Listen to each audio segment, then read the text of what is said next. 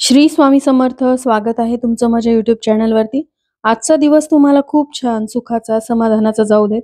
हीच मी स्वामींच्या चरणी प्रार्थना करते आणि आजच्या या नवीन व्हिडिओला सुरुवात करते. मराठी वर्षामध्ये चातुर्मास काळाला अनन्यसाधारण असे महत्त्व आहे. दिवाळीनंतर काही दिवसांनी म्हणजेच कार्तिकी एकादशीला चातुर्मासाची सांगता होईल. तत्पूर्वी म्हणजेच अश्विन महिन्यात येणारी संकष्टी चतुर्थी ही चातुर्मासातील शेवटची संकष्टी चतुर्थी आहे. गणेशांची शाश्वत भक्ती लाभण्यासाठी गणपती उपासक प्रत्येक महिन्यातील संकष्टी चतुर्थीला गणेशांचे व्रत करतात. आश्विन महिन्यातील संकष्टी चतुर्थी अनेक अर्थाने महत्वाची मानली जाते.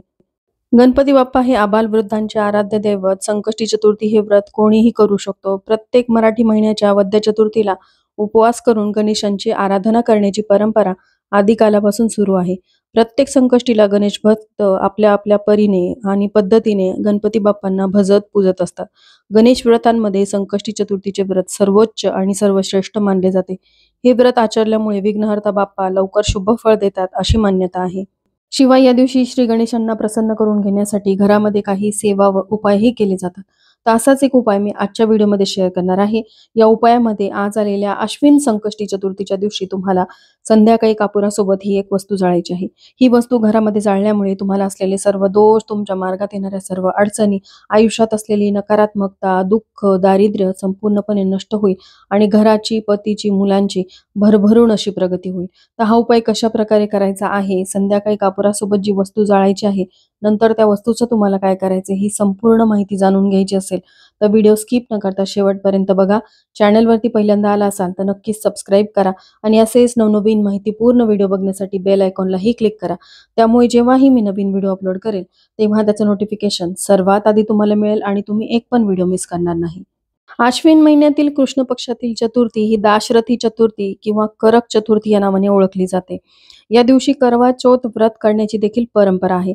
करवा चौथ व्रताला अतिशय महत्त्व असून ते मोठ्या प्रमाणावर केले जाते. याच दिवशी संकष्टी चतुर्थी असल्याने याचे महत्त्व आणखीनच वाढलेले आहे. म्हणूनच घरामध्ये काही उपाय केल्याने आपल्याला त्याचे शीघ्र फळ मिळतात.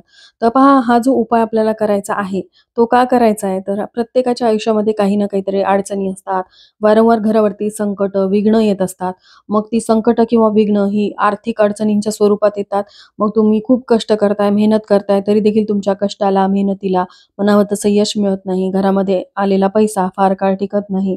यानं त्या कारणाने तो खर्च होतो. मग तुमच्या मागे लागलेली आजारपण असतील. घरामध्ये असलेली एखादी व्यक्ती आजारी पडते ती बरी होत नाही की लगेचच दुसरी व्यक्ती आजारी पडते आणि या आजारी व्यक्तींच्या उपचारामध्ये तुमच्या घरामध्ये आलेला पैसा जो आहे तो निघून जातो. शिवाय तुमच्या मुलांवरती वारंवार संकट विघ्न येतात. जसं की ते सतत आजारी पडतात किंवा कुठे गेले तर ते पडतात त्यांना लागतं मार लागतो किंवा त्यांचा अभ्यासामध्ये त्या मन लागत नाही म्हणावी तशी त्यांची प्रगती होत नाही. तुमच्या पतीची किंवा मुलांची नोकरी व्यवसायाच्या ठिकाणी म्हणावी तशी प्रगती होत नाही. नोकरीमध्ये त्यांना बढती हवी असते किंवा व्यवसायामध्ये त्यांची म्हणावी तशी आर्थिक भरभराट होत नाही. नेहमी त्यांना आर्थिक तोटा सहन करावा लागतो.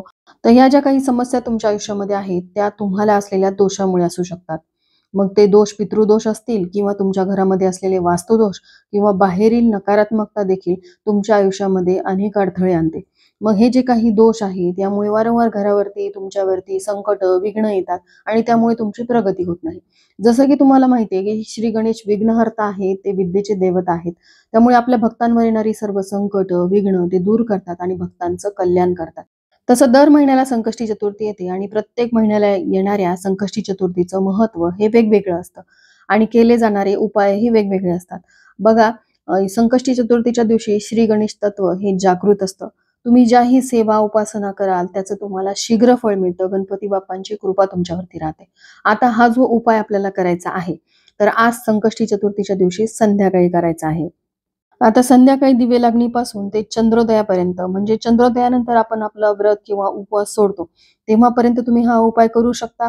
जर तुम्हाला त्या वेळेमध्ये शक्य नसेल तर संध्याकाळी दिवे लागणीपासून ते रात्री अकरा पर्यंत तुम्ही हा उपाय तुमच्या वेळेनुसार करू शकता. तर सकाळीच आपण श्री गणेशांची विधिवत पूजा केलेली असते.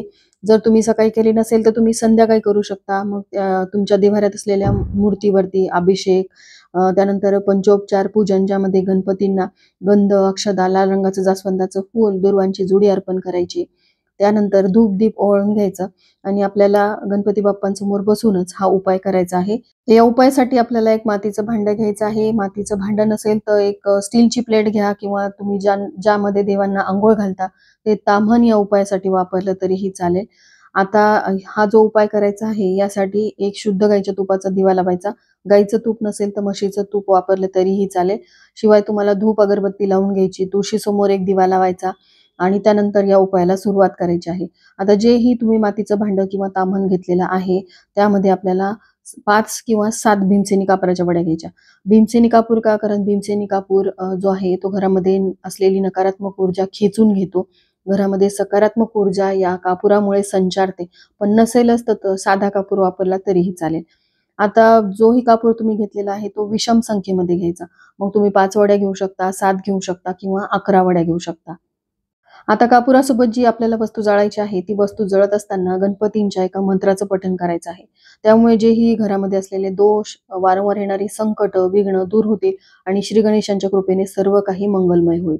तर आता आपण जेवढ्या कापराच्या वड्या घेतलेल्या आहेत खोबऱ्याची वाटी घ्यायची आहे. बघा अख्खं खोबळं असतं त्याचे दोन तुकडे केल्यानंतर जी अर्धी वाटी असते ती वाटी तुम्ही घेऊ शकता.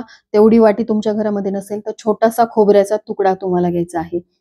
आता यावरती तुम्हाला सुरुवातीला एकच भीमसेनी कापराची वडी ठेवायची ती प्रज्वलित करायची आणि तुम्हाला एका मंत्राचं पठन करायचंय. तो बाप्पांचा अतिशय प्रभावी मंत्र आहे. तो मंत्र म्हणजे ओम विघ्न हरताय नमः ओम विघ्न हरताय नमः. या मंत्राचं तुम्हाला पठन करायचं आहे. बघा पहिली कापराची वडी जळत आली की दुसरी वडी टाकायची. परत मंत्रपठन सुरू ठेवायचं आहे. त्यानंतर तिसरी त्यानंतर चौथी असं करत करत जेवढ्या तुम्ही कापराच्या वड्या घेतलेल्या आहेत त्या एक एक करून तुम्हाला त्या खोबऱ्याच्या वाटीवरती जाळायच्या आहेत. त्यानंतर शेवटची कापराची वडी तुम्ही प्रज्वलित केल्यानंतर ते ताम्हण किंवा मातीचं भांड तिथून उचलायचं आहे आणि संपूर्ण घरामध्ये हे फिरवायचं आहे. प्रत्येक घराचा कोपरा न कोपरा फक्त टॉयलेट आणि बाथरूम सोडून हा उपाय करत असताना घराच्या खिडक्या दारं उघडी ठेवावीत. दार उघडं ठेवणं शक्य नसेल तर सेफ्टी डोर लावून घ्या पण खिडक्या मात्र उघड्या ठेवायच्या जेणेकरून जी ही नकारात्मकता आहे ती बाहेर निघून जाईल. आणि संपूर्ण घरात फिरून झाल्यानंतर ते ताम्हण किंवा मातीचं भांड तुम्हाला परत देवघरासमोर आणून ठेवायचं आहे. आता ही जी खोबऱ्याची वाटी किंवा खोबऱ्याचा तुकडा तुम्ही घेतलेला आहे तो पूर्ण जळून काळा होईल. मग आता याचं काय करायचं? तर हे प्रसादा स्वरूप खायचंय का? तर नाही. घरामध्ये जी ही नकारात्मकता आहे जे ही दोष आहेत ते सगळे या खोबऱ्याने शोषून घेतलेले आहेत. त्यामुळे ते खोबरं आपल्याला प्रसादा स्वरूप खायचं नाही. तर याचं तुम्हाला काय करायचंय? तर ती खोबऱ्याची वाटी किंवा जो खोबऱ्याचा तुकडा आहे तो आज चतुर्थीच्या दिवशी गणपती बाप्पांसमोरच ठेवायचा आहे. त्यानंतर दुसऱ्या दिवशी म्हणजेच उद्या तुम्हाला तो खोबऱ्याचा तुकडा एखाद्या झाडाखाली नेऊन टाकायचा आहे किंवा जिथे तुम्ही फुलं वगैरे निर्माल्यामध्ये टाकता एखाद्या झाडाच्या खाली खड्डा केलेला असेल तर त्यामध्ये तुम्हाला ही खोबऱ्याची वाटी टाकून द्यायची आहे. तर असा हा उपाय आज आलेल्या संकष्टी चतुर्थीच्या दिवशी करायचा आहे. यामुळे तुमच्या सर्व दोष तुमच्या आयुष्यात असलेल्या अडचणी नकारात्मकता दुःख दारिद्र्य संपूर्णपणे नष्ट होईल. श्री गणेशांचे आशीर्वाद तुम्हाला लाभतील एवढा हा प्रभावी उपाय आहे. ज्यांचं व्रत सुरू आहे त्यांनी हा उपाय करूनच मग त्यांचा व्रत आणि उपवास जो आहे तो सोडायचा आहे.